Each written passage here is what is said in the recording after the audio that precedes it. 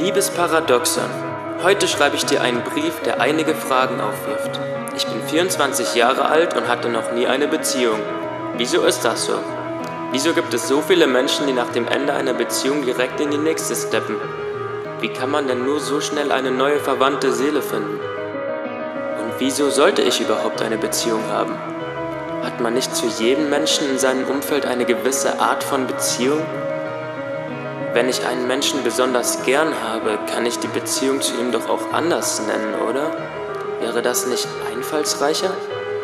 Ich hoffe, du antwortest mir auf meinen kleinen Brief, liebes Paradoxon. Dein Max Modestus.